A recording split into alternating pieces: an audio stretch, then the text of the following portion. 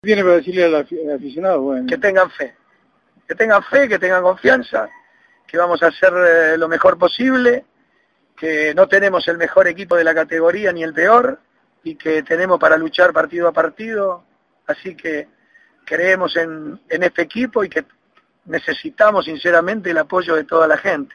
Eso es lo que necesitan estos chicos. Bueno, a usted no hay que decirle bienvenido, usted hay que decirle de vuelta en casa. Eh, es, y, sinceramente es, es una cosa que, que, a uno lo toca, ¿no? Y que cuando llegan los momentos de decisiones importantes las toma. Se sabe que las páginas estaban toda esta semana eh, deliberando entre toda la gente eh, sobre el técnico. Eh, por lejos, por lejos, la afición bohemia pedía por usted. Bueno, yo te agradezco, te agradezco las palabras y creo que... Eso es real, eso no... Yo sigo siendo la misma persona y de la misma forma, y lo que me está diciendo vos me lo dijeron en Rafaela, donde dirigí tres veces también, cuando volví. Y eso es lo lindo de esto, que por donde pasaste algo tuviste que dejar para poder volver. Cuando uno cierra sus puertas no puede regresar más. Yo creo que esta nueva etapa mía, que ya sea la última, porque se van terminando los años para dirigir, pero... Es un pibe, usted tiene apenas 59 Soy un pibe, pero tengo toda la energía y todas las ganas, pero creo que, que de verdad, ojalá en esta vuelta le pueda dar alguna alegría más a todo el simpatizante. Bueno, ayer en Facebook cuando nos, enteramos de la de la llegada suya, eh, yo puse eh, bienvenido Vitrola, bienvenido Giso, y ojalá que le vaya a usted muy bien, porque si a usted le va muy bien, a los bohemios le va bárbaro también. Bueno, ojalá. ojalá le deseamos toda la suerte mundo. Es lo ¿eh? que siento desde que llegué, eh, desde que vine hasta acá, hasta el club, y ojalá siga hasta julio. Y le demos una alegría a la gente para tratar de, estar lo más arriba posible. Yo siempre digo, uno tiene que ganar el partido, y ganando, sin darte cuenta, vas escalando. Escapándole abajo te vas metiendo arriba. Así que hay que escaparle abajo primero. Yo tengo una, eh, un recuerdo suyo cuando jugamos con Huracán de acá, se estaba jugando casi la final. Sí, sí, Huracán Corriente. Huracán Corriente. Si cuando nos hacen un gol, usted dice, nos van a meter tres. Y ahí me di cuenta eh, cómo usted ve el fútbol. Te, tengo para contar, pero sería largo lo que te tengo que contar. Porque esa fue una jugada que hacía Zucarelli, que dirigía Huracán de Arroyo, Huracán de Corriente, perdón. Huracán de Corriente. Hicieron una jugada de lateral y uno de mis jugadores se dio vuelta y le dijimos, cuidado que el que saca te va a picar. Y cuando se dio vuelta, yo me di vuelta y dije, chao. Nos tiraron el centro y nos metieron el gol. Sí, porque ahí, las cosas, ahí te enfocó la cámara. y, ahí dijiste, no, no, van a meter tres más. Y fue lo que pasó. También este, llegamos en un momento en que uno de nuestros jugadores, la gente a veces no sabía y pedía por el Vichy Paredes ese día y nosotros teníamos el Vichy Paredes lesionado en el banco para completar el banco de suplentes. Bueno, por eso te tenés que sentir contento de cómo cómo está la institución. Nos alegramos que estés acá y Sentimiento Bohemio, Video Bohemio te da la mayor de las bienvenidas. ¿eh? Te agradezco. Y toda la suerte del mundo. Un cariño grande a, toda la gente. Bueno, muchas gracias. Dice que pasa más por ahí la cosa. Y creo que es un buen momento. Así que queremos no defraudar a la gente, hacer lo mejor para que este equipo salga de la posición en que esté y poder llegar a un buen término al final del campeonato. Vitrola, te pregunto, porque vimos el entrenamiento, que estuviste con los muchachos, ¿cómo encontraste el grupo? El grupo está, mete, corre, falta un poquito de juego. Eso es lo que veo y que es lo que vamos a tratar de darle en estos dos días que faltan. Es muy apresurado quizá, pero creo que hay jugadores que tienen un nivel como para poder hacerlo y dependemos bastante de ellos. Por eso me acerqué un poquito más a charlar con algunos que, son los que le van a poner el toque al equipo parece que hay veces que se apresuran o terminamos jugadas tirando centros cuando las tenemos que meter por abajo en el área, cosas que, las pueden llegar a hacer, tienen capacidad como para hacerla y ojalá lo, podamos lograr lo más rápido posible. Nosotros en las primeras fechas, no sé si coincidís o no coincidís, digamos, pero nosotros como periodistas estuvimos viendo que tenemos un plantel excelente, ¿no? Con buenos jugadores, eh, pero vemos que tienen miedo a no perder. Puede ser que vos lo veas así, ¿O no? Yo en estos momentos no puedo decirte tener jugar a no perder o tener miedo a no perder. Creo que el jugador trata de dar lo mejor en la cancha. Por momentos en un partido te puede llegar a pasar, cuando falta poco, no, no, no, lo podés ganar, trata de no perderlo. Pero el equipo tiene que salir a ganar los partidos, tiene que salir con confianza, para eso tenés que tratar de tener la pelota, que es lo que te digo yo. Si, la pelota le tiene el rival mucho más tiempo que, que vos, seguro que, que lo vas a perder el partido. Por eso uno tiene que tratar de tener la pelota, de no apresurarse, de jugar, de, llegar con la mayor cantidad de gente posible al rival y ser ordenado tácticamente. Si no sos ordenado tácticamente, me parece que es, la prioridad en esta categoría. Los equipos que han tenido en los últimos campeonatos son equipos jóvenes, equipos que corren mucho y que son ordenados.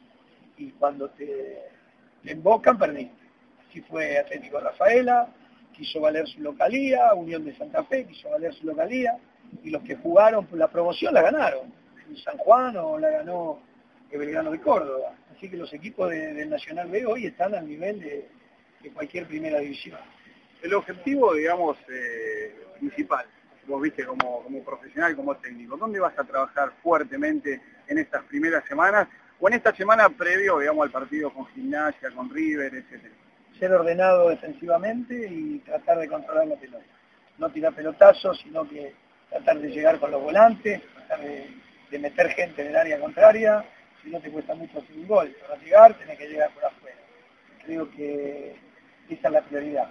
O sea que eso se va logrando con, juego, con confianza.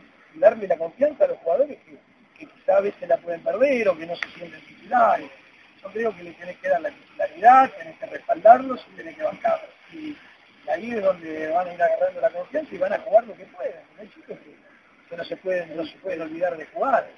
El año pasado hicieron una campaña excelente, eh, vi jugadores hoy acá en la práctica que me dijeron que no estaban en ese nivel. Eh, bueno, no, te quiero dar nombres, pero voy a hablar individualmente con ellos, porque si juegan al nivel que jugaron hoy, eh, tranquilamente pueden ser titulares destacarse en un Nacional B.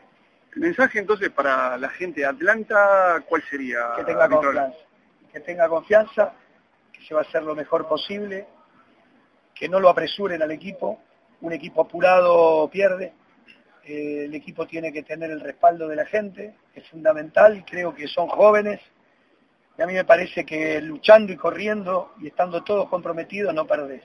Si a eso le podés agregar el fútbol que uno pretende, vas a tener buenos resultados.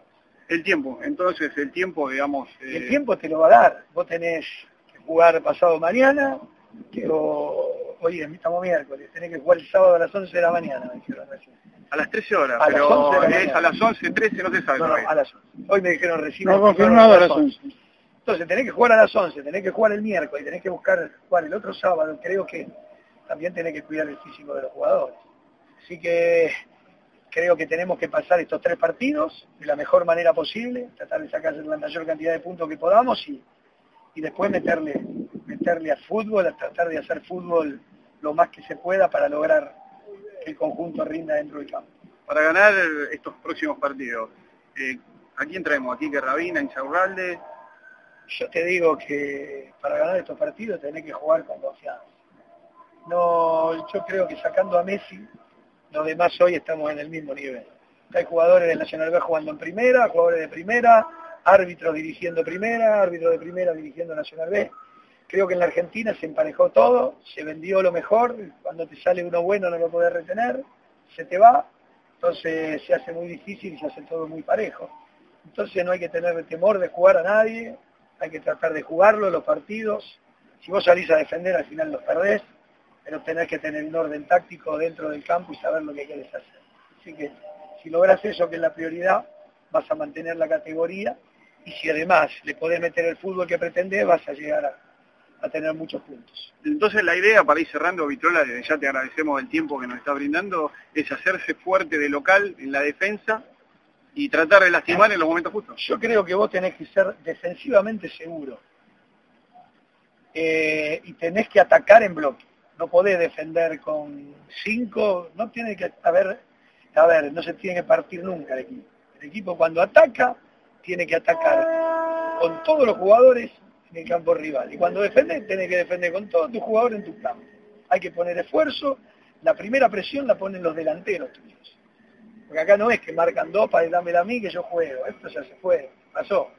Acá podés tener que jugar con chicos que tienen mucha técnica, lo que yo vi hoy que a veces abusan de la gambeta en lugares de la cancha donde vos tenés que tocar, y vos tenés que abusar de la gambeta dentro del área. Ahí sí, ahí el gambeteador es el que te define partido, el que te saca jugadores. En el medio de la cancha te pegan patadas, el fútbol se hace muy eh, tedioso, se mete mucha presión, la pelota anda siempre por el aire, ahí tenés que jugar a uno, dos, y después tenés que marcar la diferencia en los lados. Esa es, esa es la única verdad que tiene el fútbol, pero para defender tenemos que ser 11 leones, tenemos que defender todo, y cuando atacamos tenemos que atacar ordenadamente. El último ascenso sumamos más de 80 puntos como el Barça, así que hay vuelo que estamos apuntando a jugar por abajo, a jugar al toque. Sin duda. Si jugás por arriba tenés que tener todo gigante. Y tenés que tener suerte. Así que lo primero que hay que hacer es poner la pelota en el suelo. Por ahí se empieza a jugar. No, a mí siempre me enseñaron. ¿eh? Es muy viejo eso, pero la pelota es de cuero. ¿Eh? ¿El cuero dónde se saca? La vaca, ¿qué come? Pasta. Bueno, pelota, pasta, jueguen por abajo. Y si no, van siempre por el aire. Yo creo que, que esto es más viejo que el fútbol. Creo que es el fútbol que nos gusta a todos, pero además de que gustarte tiene que ser ordenado, tiene que ser prolijo, y hoy un error te cuesta partido. Para eso tenés que tener pelota parada a favor, tenés que tener pelota parada en contra, tenés que tener buenos cabeceadores, tenés que ser ordenado en todo. Acá no, no es hoy salimos a jugar y jugamos, porque si pensás de esa manera no te va a ir bien. eso es lo que uno fue sumando en esta categoría a través de los años, y quizá vos me decís una primera, y bueno, la agarra Messi, la metí a cuatro y te definí un partido. Yo todavía en esta categoría no lo vi. O sea que esta categoría tiene que jugar en conjunto. Por eso un conjunto rinde más que, que algunas individualidades dispersas por la cancha. Bueno, Yo lo agarro empezando de cero. Para mí el partido, el principal partido que viene con gimnasia es el, el objetivo y después nos pondremos a pensar en el del miércoles, en el del otro sábado. Acá sabemos que si sumamos, eh, no dividimos y vamos a estar afuera de todo. O sea que hay que tratar de estar bien parado y de ganar partidos. Si vos ganas partidos, eh, que se hagan problemas los que dividen. Creo que esa es la, lo que tiene de bueno los equipos recién ascendidos. Más allá de los puntos que se saquen, ¿es bueno o es malo tener tres partidos en ocho días quizá no es el ideal. Yo hubiese preferido tener 15 días los jugadores sin ningún partido en el medio. Pero lo que toca, toca y hay que enfrentarlo. Y es así. El fútbol tiene, te depara todas estas cosas y tenés que estar preparado para hacerlo. Tampoco lo voy a matar, voy a hacer mañana fútbol de nuevo, pasado, para lastimar jugadores, sino que voy a tratar de Y en lo personal, ¿qué significa para vos? me parece eh, tiene que ver todo, sí, tiene que ver todo porque